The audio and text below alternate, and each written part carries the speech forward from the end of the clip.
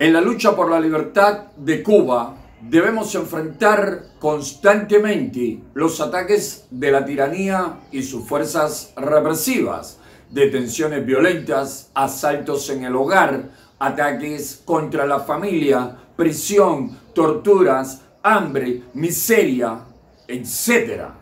Y como si esto fuera poco, quienes luchamos desinteresadamente en primera fila, estamos siempre bajo los ataques, calumnias y críticas malintencionadas de agentes de la tiranía que se fingen opositores, de cobardes y envidiosos que no han luchado un día frente al enemigo físico y real, y de luchadores nada honestos que solo andan en busca de visas, dinero y otros beneficios personales. Pero el buen patriota, el luchador honesto y sincero, no se rinde ante los ataques de la tiranía, ni se desanima ante las vilezas de los cobardes, envidiosos